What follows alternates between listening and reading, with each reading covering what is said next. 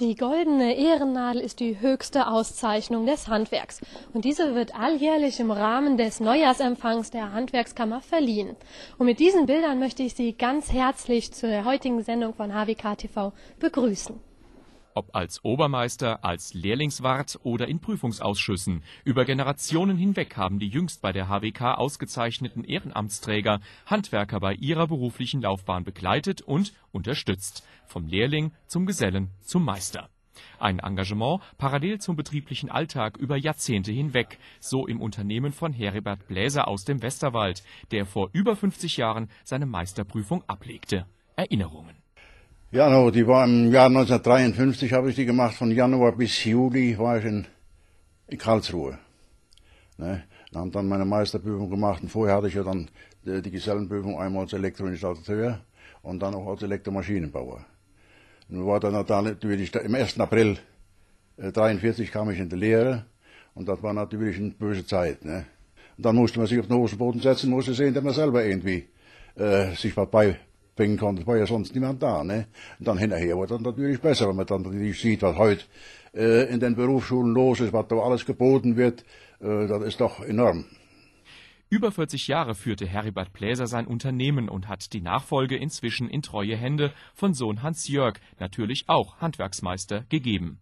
Vom Ein-Mann-Betrieb zum Unternehmen, das heute in ganz Europa tätig ist. So lautet die Erfolgsstory des Westerwälders, der stolz auf das Geleistete sein kann.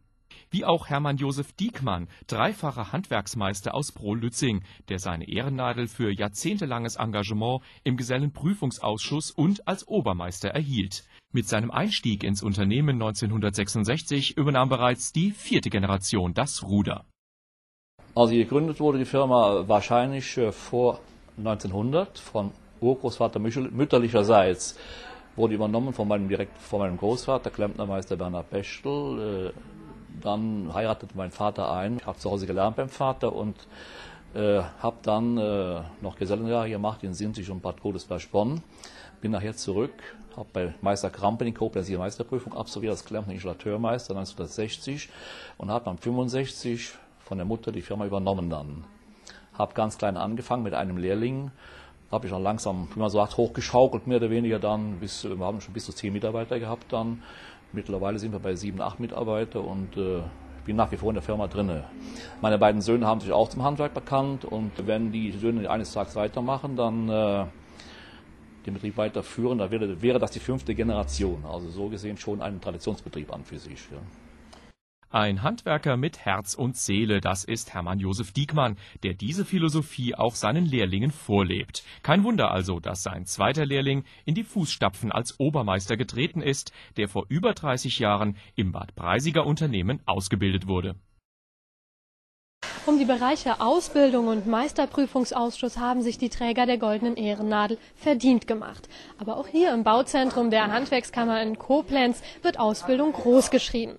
Und welche Wünsche und Zukunftspläne die Auszubildenden hier haben, das haben sie uns jetzt einmal verraten. Meine Pläne für die Zukunft sind erstmal die Ausbildung gut abschließen und dann einige Jahre noch als Geselle arbeiten und dann den Meisterbrief. Meine Pläne für die Zukunft äh, sind halt der Schreinermeisterbrief. Und zwar möchte ich nach der Lehre zwei Jahre Betriebserfahrung machen, halt in der Schreinerei, ist ja klar, als Geselle.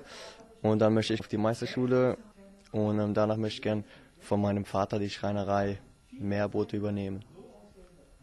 Das Thema Ausbildung wird uns auch weiterhin bei HWK TV begleiten. So auch schon nächste Sendung, denn dann geht es um den Ausbildungsberuf des Kfz-Mechatronikers und um die Leidenschaft für Autos.